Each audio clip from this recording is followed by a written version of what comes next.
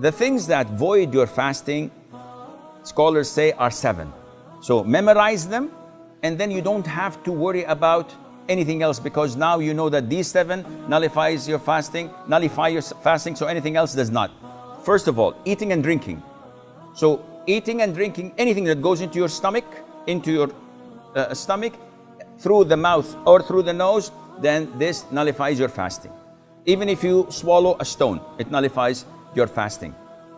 Secondly, whatever takes the role of food and drink, such as the IV, if you have glucose, for example, that you can live for three, four days without eating and drinking just because of this uh, IV is going into your veins. So this nullifies your fasting. And this means that if I take antibiotics, if I take uh, uh, Voltaren shots, if I take insulin, if I take penicillin, anything that does not nourish me, that does not take the role of eating and drinking, this doesn't nullify your fasting. So if someone says, if uh, uh, uh I have to take vaccines, does it affect my fasting? No, it doesn't.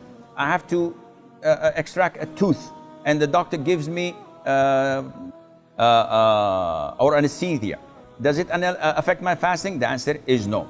Thirdly, vomiting intentionally. I ate too much, I have something going on, I don't like it, I put my finger or smell something and I vomit intentionally, this voids my fasting. If I ate too much and I feel disturbed and all of a sudden without me helping it, I'm throwing up, I'm vomiting, this is unintentional, it doesn't affect your fasting.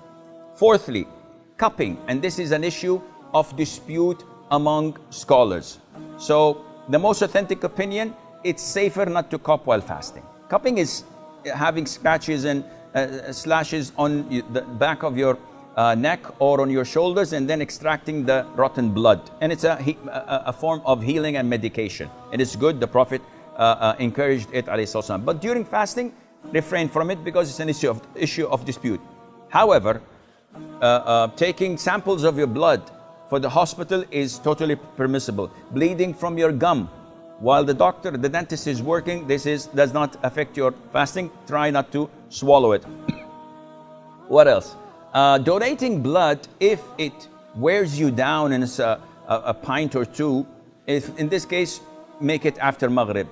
And if you don't have uh, uh, the possibility to make it after Maghrib, then do it and make up for that day. Fifthly, ejaculation. Any person ejaculating while he's awake, of course, because this is different than nocturnal emission. What you suffer or what you have of uh, wet, what they call wet dreams, when, when you ejaculate while sleeping, this doesn't affect your uh, fasting at all. But if you do it intentionally while awake, by seeing at, looking at something or thinking or masturbating, this nullifies your fasting. Sixth is intercourse, and this is the highest of all.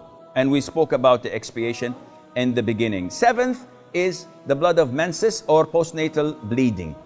These two, if there exists, then the fast is void, even if it's seconds before the adhan of the Maghrib. Now, if you look at toothpaste and look at these seven categories, you will find that as long as it doesn't go into your throat, you're in the clear.